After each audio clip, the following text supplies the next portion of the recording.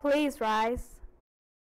I pledge allegiance to the flag of the United States of America and to the republic for which it stands, one nation, under God, indivisible, with liberty and justice for all. I'm back today here with my man. The Green Arrow, aka Dallas. How you doing today, Dallas? I'm pretty good. Ready, ready for the newscast. I also am. Today's Tuesday, sort of a slow day. But first of all, let's get to our fan favorite forecast. Alyssa. Thanks, Lathan. I'm back, everyone, bringing you the weather for today. It'll be a high of 84 and a low of 67. It is now sunny and 70 degrees, and around lunchtime it'll be 78, and after school it'll be 83 degrees. That's all the weather for today. Now back to the studio. Thanks, Alyssa. For lunch today, on lines 1 and 2 is spicy and grilled chicken. Line 3 is grilled cheese. Line 4 is a potato bar. And line 5 is assorted 4x6 pizza.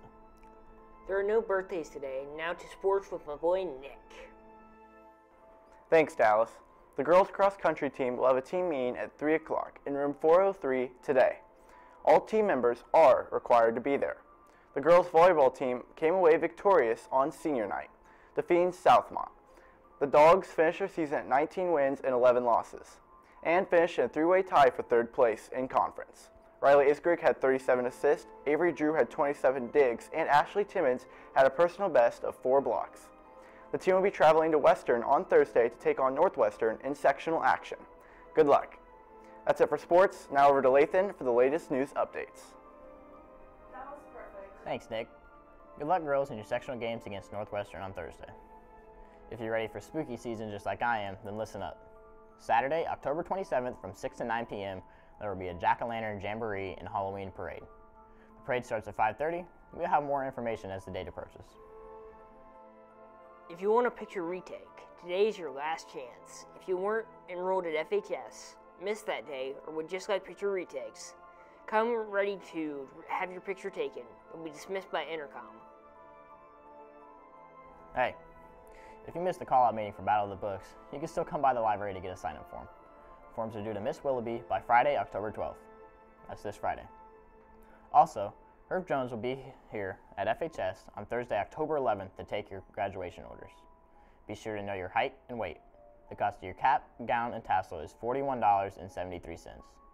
You are able to make payments on your orders, but you will need to have a deposit ready when you place your order. If you need order forms or have any questions, please see Mrs. Rennick in the front office. Students, on Friday, November 9th, the library will be hosting another Books and Bagels. For those participating, you will be reading The Name of a Star, a, thr- a thriller by Maureen Johnson. Stop by Mrs. Wilby's office in the library to sign up and get a copy. Well, it appears that's all for us. Thanks for tuning in today, and uh, bear with us as we adjust to our new responsibilities. Be sure to like and subscribe to stay up to date with all the hot dog news, sports, and weather. Have a great day, everyone. There's four days left until break.